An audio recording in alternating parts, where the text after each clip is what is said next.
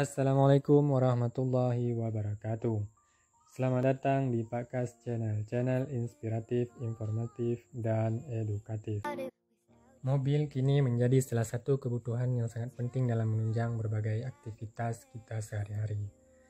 Selain itu, mobil juga menjadi bagian dari gaya hidup untuk sebagian orang.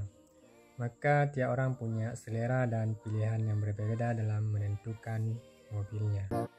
Sebagaimana kita ketahui, persaingan antar produsen mobil saat ini makin ketat.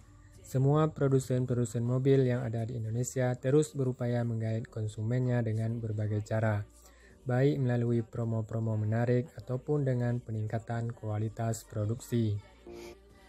Nah, di antara produsen-produsen mobil yang terkenal di Indonesia seperti Mitsubishi, Toyota, Honda, Suzuki, Daihatsu, dan lain-lain, Siapakah juaranya di bulan Mei tahun 2021 ini? Seperti biasa, sebelum kita lanjut, mohon sedikiranya bagi yang belum subscribe untuk subscribe agar Pak Kas bisa bahagia. Yang sudah subscribe, Pak Kas ucapkan terima kasih banyak. Baik, pada kesempatan ini Pak Kas akan memberikan informasi juara 10 besar mobil terlaris di Indonesia sepanjang bulan Mei tahun 2021. Kita lihat dulu dari posisi yang terakhir yaitu posisi ke-10. Pada posisi yang ke-10 ditempati oleh Daihatsu Ayla. Daihatsu Ayla adalah mobil kedua dari produsen Daihatsu yang masuk 10 besar.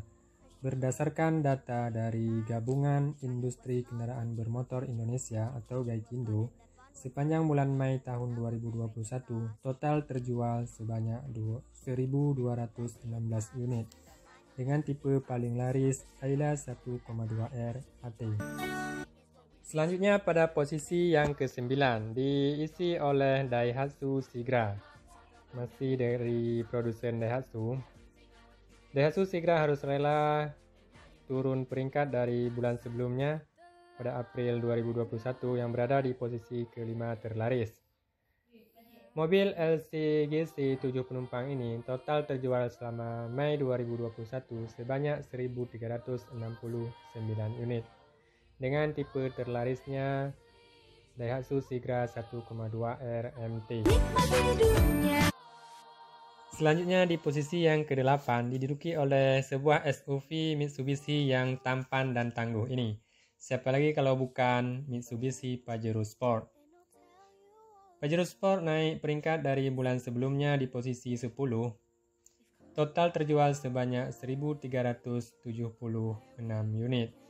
Dari segi jumlah turun dari bulan lalu yang terjual 1745 unit.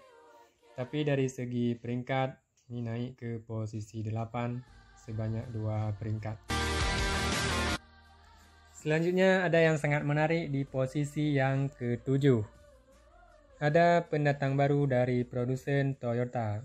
Meski baru launching tapi berhasil masuk 10 besar di bulan Mei tahun 2021, yaitu Toyota Raiser.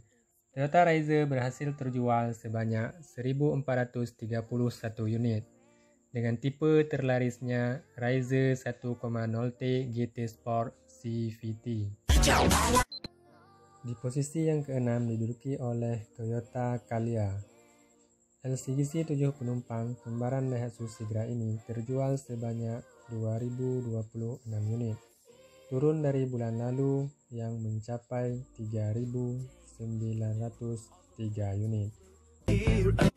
Di posisi yang kelima diduduki oleh legendaris Toyota yaitu Kijang Innova Kijang Innova masih bertahan dalam 10 besar mobil terlaris di bulan Mei tahun 2021. Terjual sebanyak 2.719 unit dengan tipe terlarisnya Toyota Innova G Diesel AT.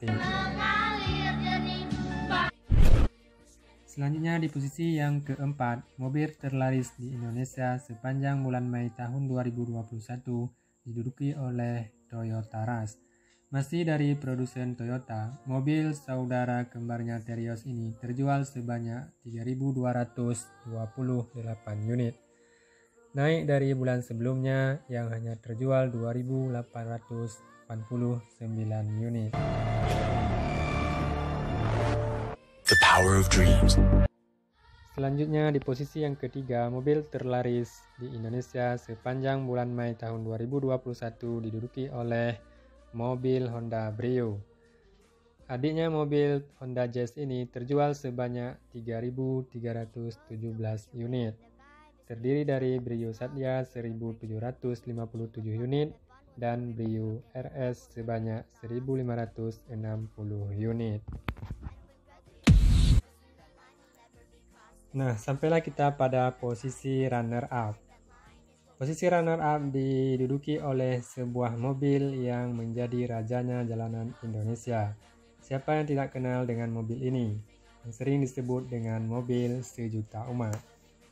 Hampir tiap kita melihat mobil ini di jalanan Indonesia dalam tiap menitnya. Kembaran Xenia ini berhasil terjual sebanyak 4.675 unit. Dari segi peringkat naik satu peringkat, tapi dari segi penjualan turun dari bulan lalu yang terjual sebanyak 5.385 unit. Tipe terlaris dari Toyota Avanza 1,3G. Akhirnya tibalah pada posisi sang jawara. Inilah dia sang jawara kita. Top selling sepanjang bulan Mei tahun 2021 di Indonesia. Mobil Mitsubishi Expander. Mitsubishi Expander naik dua peringkat dari posisi ketiga pada bulan lalu, berhasil menggeser Toyota Innova yang bulan lalu berada pada peringkat pertama. Expander berhasil terjual sebanyak 5.026 unit sepanjang Mei 2021 dengan tipe terlarisnya adalah Expander GLS AT dan tipe terlaris kedua Expander Cross Premium AT. Tumbuh dan berkembang. Nah, itulah teman-teman 10 mobil terlaris di Indonesia sepanjang bulan Mei tahun 2021. Nah, buat teman-teman yang ingin beli mobil baru, baik untuk pertama kali atau mau ganti yang lama, atau terkadang mau tambah mobil lagi, info ini bisa jadi pertimbangan dalam menentukan pilihannya. Akhirnya, Bakas mengucapkan terima kasih telah menyaksikan video ini. Jangan lupa like, comment, subscribe, dan share kepada yang lain. Sampai jumpa lagi pada video berikutnya. Mohon maaf jika ada kesilapan. Assalamualaikum warahmatullahi wabarakatuh.